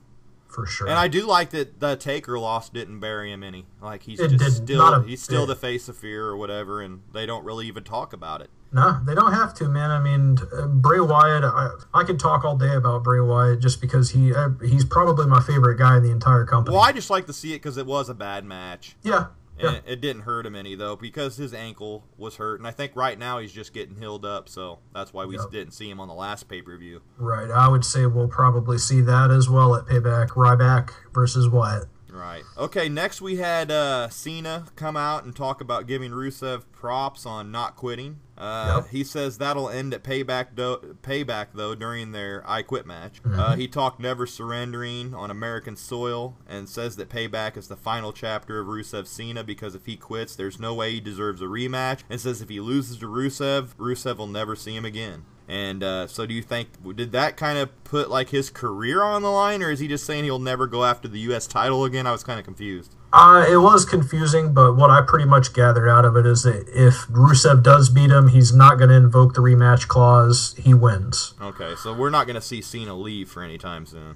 I would doubt it, but it could happen. I mean, Uh, he, he kind of needs a break. I mean, hey, to me, uh, it did Randy Orton a world of good to be off TV for a few months there. So give it to Cena too. I think Cena could be off for a few months. Really, don't For they? sure. Don't they have something for him to do for meanwhile? Like I, I, seeing him every week is kind of just like ah. Uh, if if I were WWE, I would book him on Make a Wish visits for two months and let him let him heal up, let him come back renewed and fresh, and uh, people might really get behind him. Right. I think so too. I think he needs a break, and and he really doesn't need to have a lengthy U.S. title run. No, it's I only mean, gonna hurt. It's only gonna hurt Rusev if he loses again. Yeah, and there's only so much you can do with this old school '80s USA Russia angle thing. I mean, Right, it's been done to death. Right, and I said, where's Rusev gonna go if he loses this match again? Like we talked about Extreme Rules. If he loses this match, where's he gonna go? Like, It'll be way down the card as far as his value for sure. I don't see him losing three straight. It wouldn't make a whole lot of sense to me, even if the guy did go almost a year undefeated. I don't see Cena ever coming back to challenge him again either. No, and that was an oddly specific thing to mention from John Cena, so that could be something to look at as perhaps a tell of the result. All right, so we'll see what happens there. I don't know. It just, just seems like not three in a row. Uh, he issued the Open Challenge though, the U.S. Open. Heath Slater came out to accept it, but Rusev attacked him from behind. He said he's going to make Cena quit at Payback, and talked about a little bit other stuff. And then the Russian flag came down over Cena. Oh, yeah. So I thought that was a cool little spot. Definitely. After last night, especially after Cena won and dra- uh, dropped the U.S. flag, that was cool to see Rusev come back and say, nope. Yeah. Sorry, oh, I, bitch." I forgot to note that on the Extreme Rules that he did. He won and dropped the U.S. flag, Rusev style. Yeah. I had that noted, but I don't think we talked about it because it was just a bad match. So, yeah. But yeah, he dropped the uh, Russian flag down. Anything else to talk about that? I think that was a good spot though, and It I'm was. looking forward to see what happens. Likewise. Rollins shown uh, making an argument on Reigns or Orton not deserving a title shot to Kane backstage. Kane says since he carries himself like the man, he thought he could handle it, and he changed the poll to Randy Orton, Reigns, or a triple threat match, like we talked. And uh, Seth got heated, and Kane says to calm down. They have a match, and afterwards they'll see who wins the poll. So Kane really facing it up there. And uh, I'm under the impression that Kane is done with the. Didn't he put his two weeks notice in? I believe that was what I heard. Yeah, And I haven't heard him take it back. So I guess next week he's done. we're gonna have to see. Well, I noticed. I, I listened to last week's show, like I do always before the show. We do this week just so I can, you know, tackle any points I made. Yeah. And uh, that was one point I made. I remember was that he said he was going to put his two weeks notice in. So well, I guess we've got two weeks to find out what happens. Maybe we'll see him Well- go get his mask. this would be one week, I guess, from then. Ah, yes, I don't know. right. So next week would be the second week, That's right. and we haven't seen Triple H since. So we'll see what happens there. I don't know. Maybe they won't do anything about it, but We will see. it looks right now like Kane really doesn't care what he's doing. So it makes sense. If he's going to quit anyway, why not screw over Rollins? Exactly. Um, we had R Truth against Stardust. R Truth got the win with the lie detector, is what they call it. The lie Um, detector. Yeah, that's what his move's called. So Huh. R Truth with the win there. That was the first round of the King of the Ring, by the way, and I was surprised that Truth was even in the King of the Ring. The, it, to me, I mean, they have to have somebody in there for the next round so somebody can be eliminated. I was surprised and- Stardust didn't win. I, I was kind of too. Uh, I figured he could be that guy to go in there and uh, and lose, but Where, what do you we see? go. What do you see them doing with Stardust? Like we talked before we came on the show. I mean, I I liked him as Cody. You didn't like him as Cody. Uh, I I don't like him as Stardust. You do. Like I don't know what they're gonna do with this guy. it's not necessarily that I like Stardust. It's just that I, I definitely do like him better than regular old Cody Rhodes. He's got a personality. Yeah, I mean he's he's got something different going, even if it is uh, the same deal as his brother Goldust. Right. Uh, to me, that whole angle is still unfulfilled. Right. I don't understand why they just stopped that in its tracks. That's just Uh, I That was should have really been a looking forward Mania to match. seeing. I was really looking forward to seeing that at WrestleMania. I was too, and I have been for years, and I don't know, they just won't go there for some reason. It could have been one hell of a match. And Yeah. that could have got the Stardust gimmick off of him too, I noted, but it never did Yeah. happen. Nope, They could have fought for the likeness, you know. exactly. That would have been great. Yeah. After that, we had Fandango, Fandango, and Adam Rose. Man, I was like, I can't believe they threw this as a time killer. Uh, that uh, I'm pretty sure I didn't even watch it. I just got Yeah. up and went and got a beer or something. Actually, during this, uh, Rosa was revealed as a rosebud, and uh, that distracted Fandango. Fond- How do you even say this? Fandango? And then Rose got the win with the party foul off the distraction. Yep. And then she says she can't believe that he chose them over me, talking to Fandango. Yeah. And then uh, she says now, though, she's found someone who treats her like a flower and turned and kissed uh, Adam Rose all the way to the ground. Yeah, that Uh, looked pretty uh, as- pretty serious As there. Fandango looked on. So there's Yeah. a little love triangle going on there. oh boy. So that's what we got. Congratulations, Adam Rose. I'm glad they're going to uh, keep the uh, storyline going. I, I just why Yeah, I mean it's it like you said. It's if their jobs if they don't lose their jobs soon, I guess they got somewhere to go. Yep. So Rosa has to stay on the main roster somehow. Exactly. And boy, is the Fandango thing already bombed or what? Like it, he's not even bombed. into it himself. I mean, at this point, just turn him into regular old Johnny Curtis. That's like, what I'd right, say. Yeah, anything. anything but Fandango. Because I mean, he he came out there not even into it, in my opinion. Yeah, he, he really wasn't. Like and like man, come on, why are they doing this again? It's it's one of those guys that they give him a gimmick, and it's like, you really gonna see this guy as the the champ one day? Right. No. No. So and Adam Rose is bad too. So yeah, okay, so after that we had uh, Brie interviewed backstage about Daniel Bryan's injury, and she said he would do anything to compete, and says they feel so great because the WWE universe loves them and he loves them so much. And then Naomi came and jumped her out of nowhere and says that no one cared about her or her husband. So that was pretty great yeah, from Naomi uh, heeling it up there. Yeah. And then Naomi had a match with Brie Bella after that with Nikki, and Naomi won via the kick to the face and a roll up. So what do you think about that whole deal? We kind of talked about the divas and Naomi and Bella's already, but any Uh, notes w- on that? I did like that little backstage segment. No one cares about her or you are your husband. Dude, that was pretty brutal. Uh, other than that, yeah, I'm glad. I was glad to see Naomi's shoes were working a lot better on Raw than they did at the pay per view. Them shoes aren't gonna last long. Nah, afraid not. No, they're not gonna like that. But she did get the win. Yeah, it looks So- like she's getting a little push, and so- uh, as as I mentioned on the Jey Uso injury video, um, you know we got Jimmy Uso laying around here, and uh, What's he gonna do?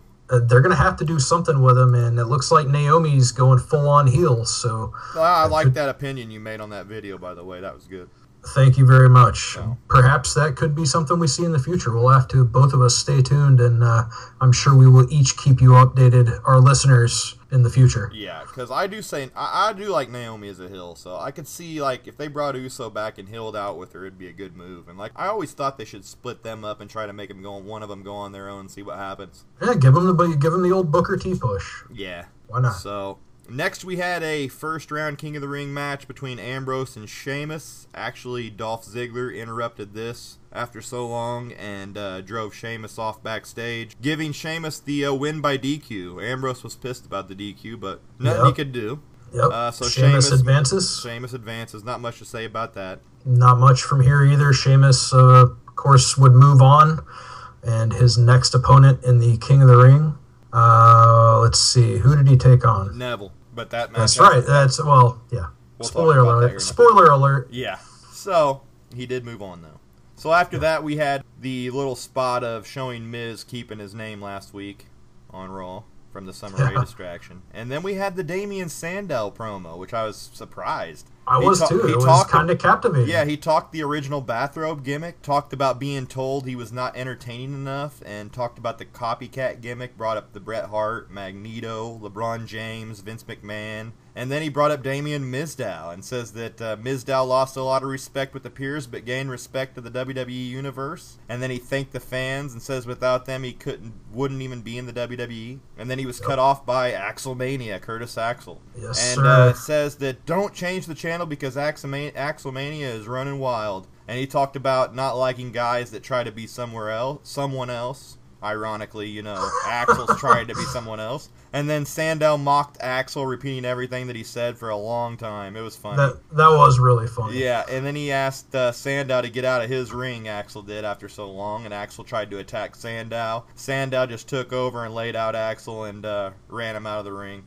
So, did he try to give him like some kind of people's elbow or something? I seen something like that. I don't know. That was the uh, well, he he did the whole Elbow of disdain. Yeah, yeah, elbow of disdain. That's right. Did he give it to him? He did, yeah. Okay, so, yeah. Uh, He basically set up the Hulk Hogan big leg drop and then faked us out into the elbow of disdain. That was great. So he Yes. is no longer going to be the intellectual savior of the masses. No, and hey, he got a new theme music as well. I didn't see the theme music either, so Yeah, I didn't notice that. I most certainly did. All uh, that, that should be an indication of something that they've got something going for the guy. I think the guy could have stepped in and took on uh, Bad News Barrett instead of Daniel Bryan. That would have been an excellent match. But they tossed in Neville instead, so I don't know. Maybe they wanted to capitalize getting Neville a big pay per view win. for sure. I do see good things in the future for Sandow. And. I, don't see him on that list of being fired anymore, kind of like Fandango and Adam Rose, and I could see them getting featured endeavored, but Oh, most definitely. but I don't see that for Sandow now. Axelmania, I don't see much in the future for him. No, I'm sorry there, McGillicutty, but you're probably uh, on your way out. And that really, of all the It's third sad though generation because guys, he's pretty good. And uh, I mean, I I was such a big fan of his father, and uh, it's it really is kind of disappointing to I see. did. I did. I always rooted for him to be pretty good, you know, because it was Joe Hennig. You know, I did. I was a big Mr. Perfect fan. I didn't want to Yeah. see him end up the way he is, but he just became jobber now. Yep, unfortunately so. Maybe hey, uh, maybe he can turn it turn it around eventually. Who knows? I don't know. I hope so. Yeah. Because I, I do like, I don't wish anybody to be fired or anything. I don't want to see Fandango or Adam Rose lose their job, but it's just, you know, and it's inevitable. You're in the entertainment business. If you're not being entertaining, they're going to tell you to go. Sink or swim. That's Right. the way it goes. Um, then they uh, announced the tag rematch after that for Thursday on SmackDown. Did you see that? So we are getting our rematch Thursday. there we go. So I noted that down. But they didn't have it on Raw. So I don't know. Maybe they're trying to hype up SmackDown more with that. Yeah, They did move to Thursday, so. it's about time. And they're moving back to the USA Network, which is good. That's uh, one of the best moves they've made in a long time. Right. Um, after that, uh, they had the Wyatt promo backstage. He talked Yep. about Ryback ever realizing who he really is. He said he doesn't know himself, but he does. And he says that he's transparent, among other things. He said he knows what drives him and he knows what scares him. And he said that after tonight, he needs to open his eyes and run, he said. So I thought that was cool. I did too. I like that Um, little run deal that he does at the end. Oh yeah, he's he's Run! pretty uh, he's pretty wild. So it was a pretty creepy little promo, but you know, talking more about Ryback. Um, do- I don't know why they had this afterwards. I could have seen this before, Yeah, and I think they ran it in the wrong spot, in my opinion. Like that could have been before the attack. I don't know, kind of telling him to watch out, but he did mention that you know after tonight he needs to open his eyes and stuff like that. So I would imagine we're gonna see Bray Wyatt uh, attacking Ryback at every corner. Then I do too. I that, you know, like Jeff said, that could be a pretty good match, hard hitting match. it's definitely gonna be a uh, a really like a crossroads almost for Ryback. I don't see Bray Wyatt. It would not push Wyatt. It would only help Ryback with a win. I agree. So I think Ryback would go over in this match, I would have to guess so. just And, to kind of look like if he could beat Wyatt, it would really gain some uh, traction. Definitely. I think that would put him a little bit one step closer to the main event spot he was kind of thrown into previously. Oh, and then the one he got robbed out of whenever they turned him heel. That Yep. first run, that was terrible, but that's that's a long story for another day. But Yep. they really killed his momentum, and now they got him back up there again. So Yeah. if they kill it now, it's just Ryback's done. Yeah. This is his last shot, last time. Very much they're so. not gonna they're not gonna push him again to fail, and then try to push him again. I mean, it's just not gonna happen. They're only going to sink so much money into one they person. can't they can't uh, heel him out again either, No. or he's done. Yep. Not after that promo that he cut where uh, he actually made me kind of like him. Yeah, he, he ain't. You know, he is the big steroid guy, like CM Punk says, but you know, I don't know. The guy does have pretty good matches if he wants to. He's not bad for a big guy. Right, the big guy. The big guy. Okay, so anyway, moving on from that, uh, they did talk the Jericho podcast with Stephanie. I'm looking forward to that after SmackDown Thursday. I am as well. I will be tuning in. Um, they showed the montage of Tough Enough tapes that have been sent in so far. Plug in Yes. Tough Enough, and yes, shout out to my boy Mitch Mitchell. He is a independent wrestler in Florida. He has a tough enough audition video. Go out there and search him with that hashtag tough enough Mitch Mitchell. Give him a like, shout out. Hopefully he's uh, one of the guys that makes it. I definitely will, and maybe even I'll tag him on there. Talk, I'll put him on this video at the um, something we talk about, Most just so certainly. people look at it and be like, okay. Most certainly. Um. So yeah, Mitch Mitchell. I hope you do make it on there, man. I hope so. That'd be cool to have somebody to pull for on there. Oh, absolutely, man. That's uh, that's how I feel about it. And Mitch certainly uh, he's he's young in the business, but he has all the talents that somebody would need to make it in the WWE. I wrestle? believe. What's he wrestle as? Mitch Mitchell. Mitch Mitchell. Okay. So is that Nick Fame or that's a Uh, different? guy? no, uh, he actually wrestles uh, with uh, you know in the same area there in Florida as Nick Fame, uh, another friend of mine. And uh, Mitch actually trained with uh, Nasty Boy Brian Knobbs. Right. And uh, Nick Fame also is tag team partners with uh, Jesse Sorensen. Yeah, yeah, Jesse Sorensen, yeah, from TNA. Right. Uh, Jesse's a little bit less active on the independent circuit these days, but he is uh, he's still still makes a shot every here and there. Uh, the same thing with Nick, but uh, definitely look out for Mitch there. How come Nick hasn't ever hit TNA? Uh, you know, I believe there may have been talks at one point for him to possibly come in there, but uh, If I I'm- look him up on YouTube, I'll find stuff of him. It- absolutely, man. Yeah, Okay, Nick so Fame. everybody look will- up Nick Fame. Can you find stuff on Mitch Mitchell too? Yeah, you can find matches from all those guys, So man, on Nick YouTube. Fame, Mitch Mitchell. I'm gonna put on the video that we talk about them so people can For sure, man. those up. I'm, I'm sure they will be most appreciative. Shout out to those Mitch, guys. Mitch Mitchell. So it's the way I think it's spelt, and then Nick Fame, F A M E, right? Correct. And N I C K. Yep, that's Okay, I just wanted to make sure. So yeah, guys, everybody go help Mitch get on the show. I mean, are they gonna go off like who gets the most views or? I would venture to guess that they're gonna. It's gonna go off whoever gets the most views, likes, thumbs up. And and I'm claiming here, like, have you seen him on TV? Have you seen any of his clips get shot up there? I haven't yet. I was definitely looking for. But him. did you notice that a lot of the guys that are shot up there, there was an MMA guy, there was a war guy. I, I would not, I would not doubt to see those guys on the show. I wouldn't either. I mean, if if they're already being shown there, then Right. there's a pretty good chance. And that's why I wished your boy was on there. So hopefully will he, see. I know, I know that the last time I checked, he had something to the tune of like twenty thousand views. So I hope next week we might get a shot of him. And if he does, please let me know. I will absolutely. And let him know that uh, yeah, we're uh, pulling for him here on the show. So to Most get him certainly. I'll definitely maybe put a link up to his video so people can vote for him or whatever. Like his Right video, on. check it out. Let's do it. Check it out, guys. Yeah, if you can get that video link to me, I'll definitely put it under the link. For sure, man. I will send it right on over to you. Okay, well, uh, that's cool. Um, after that, we had Neville Luke Harper first round match, King of the Ring. They actually announced Neville as the new sensation. Yes, I was- which that's pretty much uh, a big spoiler alert there. I mean, there it's pretty clear that Neville is going to get a fairly good push here. Right, and I'm glad too. With this size and stuff, I was wondering. Yeah, So he definitely has the athletic prowess to make it happen. Right. Neville wins with the red arrow, by the way, on that match against Luke Harper. I was surprised to see Harper go down to Neville. I mean, two wins in a row for Neville. That was great, and I got to say that no matter how many times I see the red arrow, it is always equally as impressive. It's amazing, but he pulls it off with ease. Oh yeah, Like I said, he'll never get injured on that move, no matter what anybody thinks, because he can pull it off in his sleep, I think. yeah. I'm sure. I'm sure that he's done it enough times to where there's no way he's going to miss The it. The guy's so strong and athletic, it's just unreal. Yup. I mean, I don't see him ever getting hurt from that style. He's one of these enigmas. I certainly hope he doesn't. And I'm glad they haven't pushed his style back either since he got it. I was worried about that. Yeah, they, they might kind of get him to t- tone it down just a little He's bit. He's going to have to against some of these guys, though. Yeah, he will. He will have to slow down his pace. Like I said, it did. I bet that was a complaint backstage that it kind of looked a little awkward with Barrett on some of those spots. Yeah, it did. Uh, it kind of set Barrett back a few steps on a couple of them spots, I think. Yeah, Made he was kind of having to react quickly. Right, and he was slow on the reactions. Yep. I could, I just could tell that. You know, after so much wrestling, you can tell stuff's going on in there. You can definitely tell when there's a little bit of awkwardness. Right.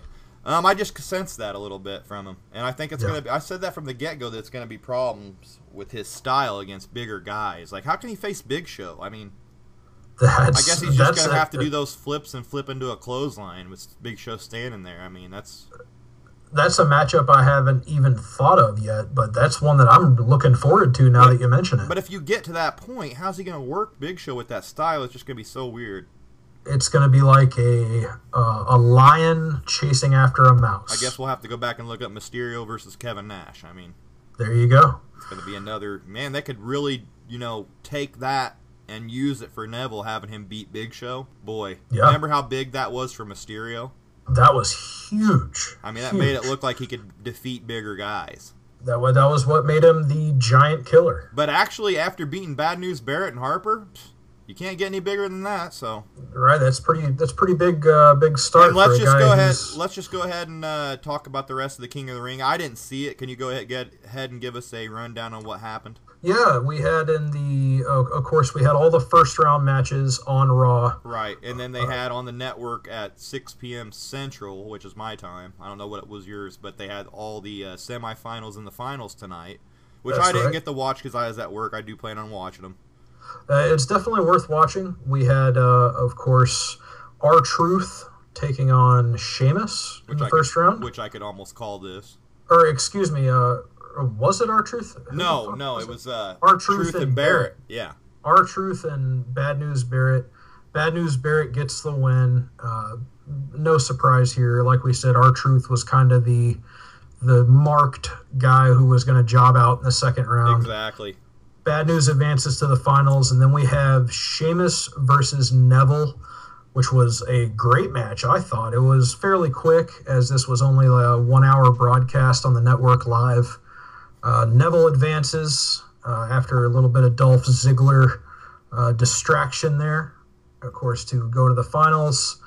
Neville versus Bad News Barrett two, a Yeah. rematch from the. Extreme Rules was equally as good as the match at Extreme Rules. No commercial break.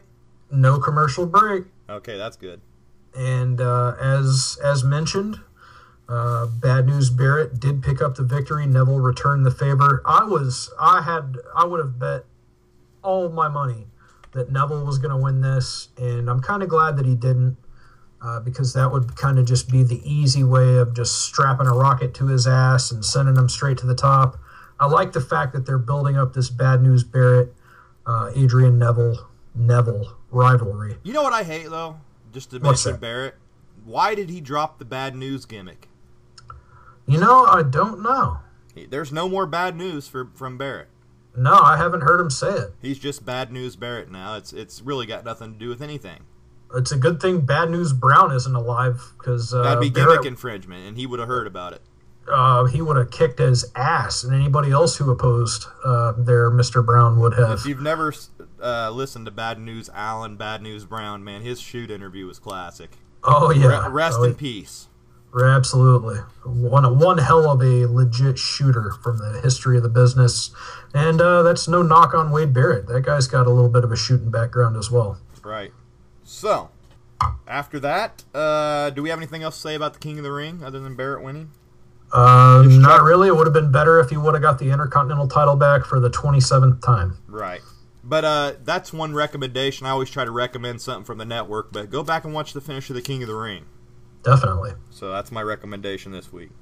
Um, actually, the main event was Reigns, Orton, and Rollins and Kane. Yep. Um, I did like the big slow suck sign in the crowd because I know I've said that on the show before. Yeah. I called them big slow. Yes, So, absolutely. I do like shout out to whoever signed that was. that was pretty good. I don't know if you caught that, but I did. Or- Orton hit an RKO on Rollins for the win after Kane hit Rollins outside, or yeah, Kane hit Rollins outside with that uppercut after he laid out J and J security too, and he sent him right into the ring waiting for Orton. Yep. And then uh, Kane announced the poll results as 78% of the vote going to the triple threat match. So Rollins is in shock after this, and he turns and gets speared by Reigns. And then they end the show with Reigns up celebrating on the ropes, and uh, Orton looking on from the ramp. So Yep. I'm looking forward to this triple threat match. I am too. Um, I did like the ending of Raw for that matter because they had a they had a reason to watch the entire show. Yeah, all the way to the end. That's always uh, it's always something good whenever they can give you that little cliffhanger to keep you going all three hours. It's not always easy. Okay, so overall, I thought Raw was pretty decent this week. It was good. Uh, it was pretty good. They, I thought they did a good job of setting up a few of the matches for Payback officially and unofficially. And having the King of the Ring on there was a, like a breath of fresh air. That was a nice little surprise. Right. Oh yeah, I did forget to mention that they did announce on the main event that they were going to have the Jerry Springer Too Hot for TV after Raw.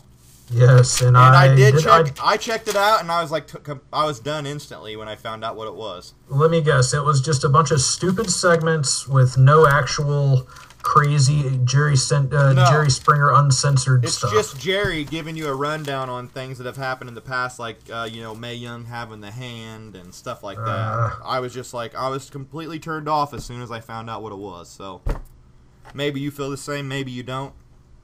Yeah, I mean, they're not going to get me to tune in with that or the Corey Graves show, Culture Shock. Neither one of those. I am, really I am, in, I'm a big fan of Marvel comics though, and I do think that's kind of neat. Yeah, yeah, but that was but for cool. wrestling fans, I don't see a whole lot of crossover appeal there necessarily. I don't know. I am a big Marvel fan and a big wrestling fan, so maybe there is. I mean, CM Punk Yeah. is a Marvel fan. You That's know, true. There are a lot of wrestling fans that you know wrestling is almost like real life superheroes. That's a great. That's a pretty valid point you got there. Uh, my Yeah, dad, man, my man, dad used to say that all the time when I was a kid. They're like real life superheroes Yep. come to That's life, uh, that's a great point. Maybe we will. Uh, especially when they were jacked up and everything. You know, oh yeah, back in the '80s, Right. Ultimate Warrior was a walking comic book. exactly. So maybe that's why they're trying to cross it over. Maybe they think there's some kind of a connection they want to hit on. yeah. And I could see them being at Comic Con and stuff too now. The, well, they've had a, a somewhat of a presence there in recent years. Didn't they have a WWE comic book not too long ago written or something? I think so. They've had some in the past that were pretty rotten. Do you remember the Warrior comic book? Oh yeah, back in '96. Didn't I they have a him. WCW comic book at once? I remember getting Yeah, that was by Marvel back in the day. the That was, WCW uh, one. yeah, that was a Marvel comic book It around was like '92. uh, it was like a bash at the beach. The storyline was. I can't Yeah. remember it all, but I, all- I remember is the first uh, the first issue was a battle royal match. like at the bash at the beach or something, wasn't it? I think so. Yeah. Yeah, I remember that issue. I had that. I think it was the only one I ever got because I didn't ever find another one. Yeah, they, they were they were pretty short lived. Right. So I wish I still had that. They're definitely out there on eBay. Yeah, I bet they're not too much. No. Okay, going on to news and notes, and then uh, that'll be it with uh, episode 24. All right. Um, I do want to start off the news and notes though, and I have a 10 second moment of silence here for the passing of one of the great legends in wrestling history, the uh, founder of AWA and the 10 time AWA champion. He actually went on to train Iron Sheik. Uh, I have some of the guys written down here. Uh, Iron Sheik, Rick, Ric, Flair. Flair, Rick- Dick the Bruiser, Steamboat, Curt Hennig. Bob Backlund, Blackjack Mulligan, Ole Anderson. Uh, uh, pretty much a who's who. Yeah, he trained a lot of guys and was a superstar in the ring and out of the ring. And the famed AWA, he did found he did uh, die at 89 years old. Was it last night? I believe, yeah, it was uh, either finally- early Monday. Yeah. Um, so I want to pay tribute to Verne Gagne. Do you have anything to say on Gagne? I do remember the AWA for a little bit when I was younger. Um, I caught him at the end of their run on ESPN there. Yeah, uh, Verne Gagne was really important in wrestling history, not only as being the founder of the AWA and his long list of trainees, uh, but really his his biggest contribution was around the dawn of television. Uh, he was one of the big stars of wrestling at the time, and he was one of the guys who contributed to making pro wrestling on television as big as it is. Uh, definitely a worthy 10 second moment of silence. Uh, may Verne Gagne rest in peace.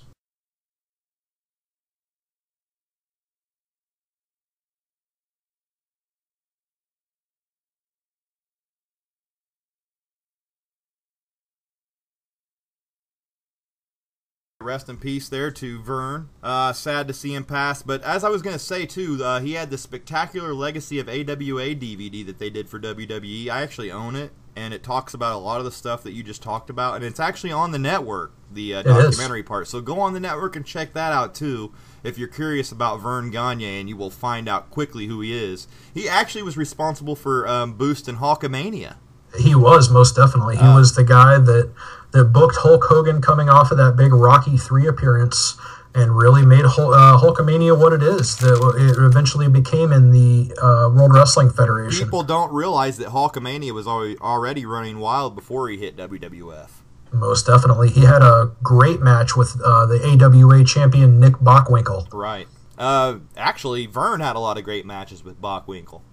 Yeah, tons of. If you don't, tons. I mean, this guy had a great in-ring talent. I mean, he was a, he was an amateur champion, I think, as well. Yep. well. he was a, a former Green Bay Packer as well. I mean, jumping Jim Brunzell trained there. I mean, some of the great wrestlers in history Yep. that were actual shooters, like Iron Sheik. I mean, trained under this guy and have utmost respect to this day for him. That's right. He Uh, was uh, he was also a alternate at the 48 Olympics. That's cool.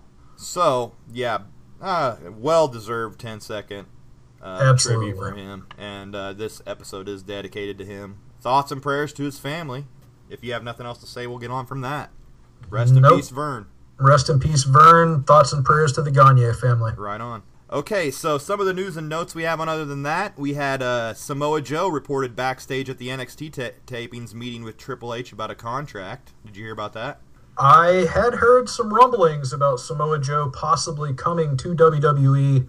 Of course, he's not with TNA anymore. I would love to see it. As I mentioned in the the uh, Jey Uso injury video on Chronochord, Jey uh, Jey Uso, or rather Jimmy Uso, tagging up with Joe Uso. I mean, it sounds natural enough, right? Yeah, and I did report that last week, and maybe we could see that in the works. Who knows? Yeah, those uh, those Samoan guys, all that, that's kind of their gimmick is that they're all brothers, anyways. So Yeah, so they, he should be like a cousin of the Usos. exactly, that'll work. You might not have to use Uso as his last name, I guess. Maybe not. They could just call him Joe. Yeah, just cousin Joe. There you go. okay, so he did meet with Triple H about a contract, though. So it'll be I hope- interesting to see him pop up on the NXT tapings or something soon. that would be fantastic. Uh, even if he's not in an in-ring role, Joe is a guy who could train the younger guys. I, I think he deserves an in-ring shot, though, I agree. especially with the return of Rhino. You know, Oh yeah, that would be a fantastic matchup. and what about Brian? I guess I guess the Brian Kendrick. Uh, he he only had like a one-time shot there. Mhm. So I haven't seen him back since, but I have seen Rhino on there for a while. Yeah, it's always good to see him goring people right out of their shoes. And uh, NXT news, by the way, Jason Albert is now the head NXT trainer after Bill DeMott. He has been since Bill DeMott resigned. Uh, anything on that? They said Yeah. actually he has uh, all positive reviews. Yeah, I feel like that's a guy. That's a guy. Uh, of course, Jason Albert, A Train, Prince Albert, Giant Bernard, Tensai, whatever you know him by.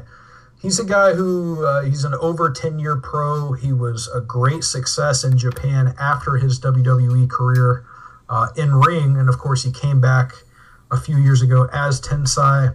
He's a guy. He's one of those guys who never really made it to the top in America, but he has a ton of great experience to off, to offer these young guys. And uh, kudos to him for getting a, a position that he certainly is well deserved. Um, has he still been doing the commentating on there for now? I think he, he's gonna have to transition off of there. I the last episode of NXT I watched, he was still commentating, but I'm not sure if they're going to keep him there or not. I don't know. That'd be that'll be interesting to see if he's gonna handle both duties or Yeah. who'd they replace uh, the other guy with? Alex Riley. Oh, um, one of their their I don't even know his name announcer guys. Okay. I, I just didn't re- realize who they. I didn't even pay attention to that.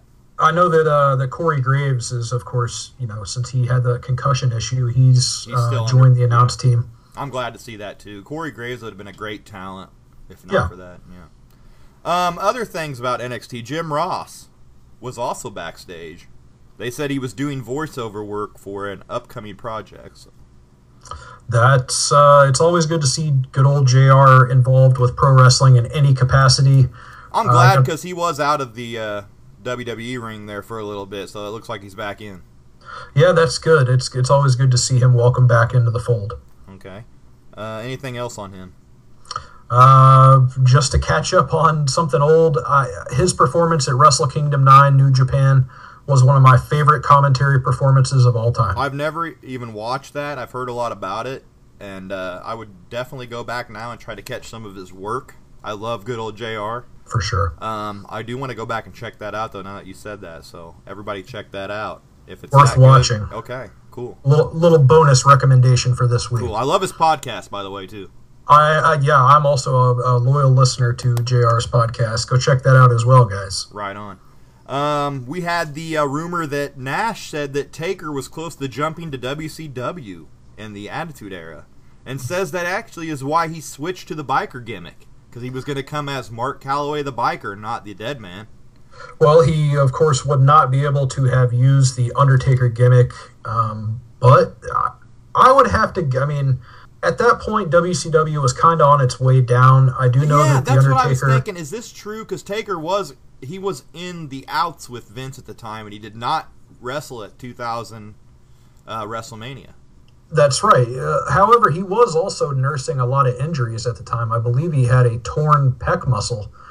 Um, So what? I would, uh, if I had to guess, this was probably Nash just trying to take care of his boy, and half of it also being that Undertaker could say to Vince, "Well, I got an offer from down south for a lot of money," yeah, he was. and then you use that as leverage. I think he was quoted as saying he was just trying to get the boys paid as much as they could back then, and exactly. it is the reason that he switched to the biker gimmick. He says too, so that's interesting. It is a pretty interesting fact looking back there. Yeah, um, I always wondered that why that switch took place. Yeah, it was different. I mean, he left. Uh, he was the ministry taker, and he comes back and the on the motorcycle, and he's Totally the different American guy. badass. Yeah, it was cool, but at the time he needed to change. He did. But it didn't last. It, it, it got so boring quick though that he needed to change back. So we all see what happens. He could never go back to that, in my opinion. It would be hard to. A couple things on um, TNA. Uh, Billy Corgan of the Smashing Pumpkins joins the TNA creative team. Are they digging deep or what, man? well, that's you know, I do know Billy is a big wrestling fan. There's no denying he's a very creative person. I think he has worked with TNA already. I believe he has. Yes, uh, he actually made an appearance with ECW during their uh, dying days, as well as having some experience uh, running Resistance Pro on the Indies. So uh, it, it can't hurt with TNA. Well, Michael Wilbon on Pardon the Interruption had a uh, comment about it. They, Oh, yeah? they actually ran it down, and uh, he brought up the signing with TNA, whoever that is. He says, Ooh.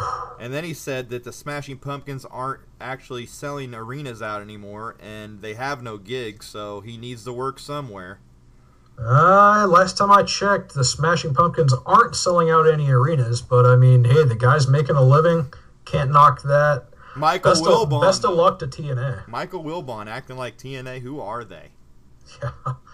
That's Well- after how many years now? Thirteen years. I mean, They've been around for quite some time. I mean, despite all of the mismanagement and criticisms that exist, power shifts. it's never good to see somebody out of work. So, I mean, No, it's not. Good good for TNA. Hopefully, this is something that can turn it around for them, and good for Billy Corgan. Yeah, and also Chyna. Um, she talked about working with TNA, and she said she could, she would again if she could on Twitter. And uh, she actually debuted with TNA in 2011. Yeah, and actually, actually, Angle tweeted back that she he missed her. So could you see Chyna coming back to work with TNA? Maybe they feel sorry for her since the WWE deal. that not to rag on TNA, that seems like a very TNA thing to do. Uh, putting somebody who has problems in the spotlight like she does. Uh, needless to say, they have a track record of doing so with Jeff Hardy. Um, I, I want to see Chyna get help and be healthy as a person, uh, whatever her problems are. Well, maybe this could get her back in the wrestling loop. That that would be good, and I think that might help. But then again, it could exacerbate the problem. Never really know. Best of luck to her, though. I mean, Chyna, uh, she's almost not worth talking about, but you know, but hey, I mean, good on good on Kurt Angle for not giving up on her and for being supportive. and I almost forgot about her 2011 TNA thing. Yeah, she came as the surprise partner, I believe. Of was it Mick Foley or was it Kurt Angle? I'm thinking it was Angle Yeah, I think so. because that's who said I miss you. So, There we go. um, that was my TNA news. Um, actually, a couple of UFC things that I wanted to get on. Dana right. White says that Ronda Rousey working with WWE was a one-time shot. So, what do you think of that? Do you think Rousey will be back with the WWE, or do you think it was a one-time shot? I think as long as she's under contract to UFC, she's going to stay where her bread is buttered. However, if the money is right and Vince McMahon wants to do the right cross promotional type deal to get Ronda Rousey in there, possibly with a match against Stephanie, uh, maybe in a tag with The Rock, uh, we, we could see that. There's certainly a lot of money in that, but So you don't see Da- Dana's comments making any impact on what happens at Mania next year? I think Dana White's a pretty reasonable guy, and if you wave enough money in his face and it's mutually beneficial enough for all parties, he's going to be all in. Dana's saying it's a one-time shot though to try to shoot down any rumors. So I guess you don't want everybody talking about her going to be working with another company while she's in one. I don't know. Yeah, uh, that could be, but I mean, at, at the end of the day, it's more exposure for UFC and it's more exposure for WWE. You get more of the the crossover appeal between MMA and wrestling fans. Right on. Exactly. I think they should cross over more. Also, uh, GSP George St. Pierre, he talked about uh, appearing in WWE is something that he's always wanted to do in a press conference, and he said That- he would love to make an appearance. that would be great for GSP. I mean, he's getting up there in age. He's certainly still physically talented enough to do uh, anything in the ring. I mean, we saw Ken Shamrock make a great transition between UFC and, And back, he's young enough still, I think, too. I mean, how old is he? 38, 37, maybe? somewhere thereabouts. And there's a lot of appeal in someone who is French speaking. And legit. And- uh, legit. He's a legit athlete, legit shooter, and you know, uh, you you got another Canadian, uh, French Canadian there. GSP's always uh, been popular with the with the folks up in the Great White North, and uh, that's uh, mutually beneficial. It seems like if he does decide to go there, That's awesome. I'd like to see it. I would as well. I'm not the hugest GSP fan, but I would like to see him in the ring. Definitely. Um, so even if it is like a one-time appearance, that'd be cool. Yeah. Um, I wanted to get that UFC stuff in there. Usually Jeff Crow gets all that in for me, so a nod to him tonight. I did get it in, Jeff. If you're listening, I know he will be. Anyway, on from the UFC news, uh, we had Austin shoot down the uh, rumors about uh, Vince and him being at odds. He says that there were trademark issues. He talked to a lawyer about. Um, he said they needed to protect him, and he said that they did, and he has no hard feelings about it.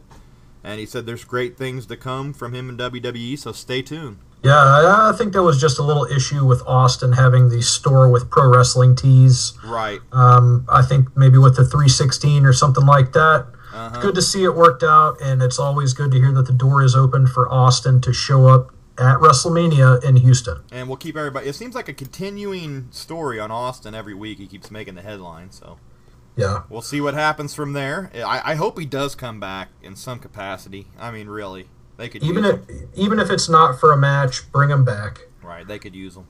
So um, after that, we have uh, Heyman and Lesnar being speculated to return in July, and they're supposed to start a feud with Rollins. So I don't see Rollins losing the belt anytime soon.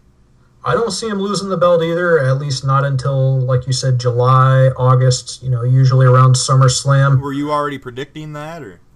Uh, not necessarily. I mean, I, I definitely see just as a general trend that the, the person from Wrestle who gains the title coming out of WrestleMania usually holds on to it till around S- mm, SummerSlam, Survivor Series. Uh, we haven't seen many really lengthy reigns with the title other than CM Punk and Brock Lesnar. Right. So um, I see Brock. I think- I see Brock getting the belt back when he comes back, I do too, and I see him being the biggest babyface in the entire company, even with Heyman. even with Heyman. Yeah, won't hurt him a bit. Nope. So, anything else on that? Uh, I love Paul Heyman. It's I love um, Lesnar too. I, I'm a huge fan of Brock Lesnar. I'm starving for some more Paul Heyman promos on my TV. Yeah, I think they should really pair him up with somebody again while uh, Lesnar's gone, like they did with Cesaro. Absolutely. They could have built a good feud out of that, but they never did. So, Nothing ever became of it. just unexplained that he wasn't a Heyman guy one night. Yeah. So after that, we had uh, Ambrose. Um, actually, hadn't won a single pay per view match since September 2013, the 15th of September in 2013. He's never won a singles match since defending the U.S. title. Then That's uh, almost two years, or uh he's he's managed to stay popular despite that. it's a crazy fact that I wanted to get in there. Yeah, and I gotta say, you know, having Renee Young to himself isn't too bad of a consolation prize. No, he's got it made with that. So uh, he does need to get serious about moving up in the card, though. I think. I think so. I mean, we've seen Reigns and Rollins, of course. Yeah, it's about time that he makes an argument that he should be in the main event picture. Did you hear the pop he got? he always gets great pops. Actually, in always. Chicago, he got a huge pop at Extreme Rules. Oh yeah. So that was just interesting note. Um, actually, May fourth Raw will be WWE Pat Patterson Appreciation Night. So look forward to that next week. Good the way. times. It's in Canada, which is always Aha. a good. It's always a good uh, venue for Raw. Absolutely, and uh, it's always good to see Pat Patterson. The guy is a legend in the business. Right on. Um, ESPN E60 WWE Behind the Curtain is airing May 5th, uh, Tuesday, May 5th, which is going to be an interesting watch for any wrestling fan. I hear it's a really good documentary that they shot, so I'm really looking forward to seeing that. I am as well. Thirty for Thirty does some fantastic stuff. They did that piece on the Von Erich family, which was really good. I haven't watched And- that. I'm I'm really looking forward to seeing this next one. Yeah, this is this is going to be E60 though. So Ah, have you seen those? Those are uh, yeah, yeah. Yeah. So I'm looking forward to that. Behind the Curtain. Um, actually, Xavier Woods was on the front of the uh, ad. That's a nice little push for him. Yeah. And then the last note that I had was something from Raw that I forgot to mention. Booker T apologizing for the comments that he made during Neville's match. And I just wanted to note that Booker said Neville may be the first high flying king. And then JBL said Owen Hart was a high flyer, but not like Neville. And then Booker C- Booker T said Owen didn't defy gravity like Neville. And That was uh, a very poor, very poor coincidental choice of words. it really was, but I, I don't think he was thinking at the time. He did. There's no way. He man. did say he never meant he would never offend the ability of Owen Hart or what happened to him. He says he never meant to offend anyone, and if he did, he apologized. Yeah. So at least he came right out and known that he'd said something that could have been took, you know. Because at, at first I read it and I'm like, what? Why were they? Okay, now I see why they're mad. Yeah. Because it's Oh. true, but then what happened to him? It could have been like a dig at that. Yeah, if it's taken wrong, you know, as I say, it was just a very unfortunate coincidence of choice of So words. Neville does not defy gravity like Owen. Oof. Okay, so any more news other than that? So Booker T apologizes, guys. How about that? Uh, now, if he'll just apologize for calling Hulk Hogan the N word, we'll never forget that. never forget it. Oh boy. So that's all I have, man. We've went a long Yeah. time, but you know what? Like we said, it was going to be an hour or two Broadway with us on the mic. That's Uh, right. The Iron Man match. Yeah, we don't know when we'll get C Dub back, so we had to get everything in there. We had a lot to cover.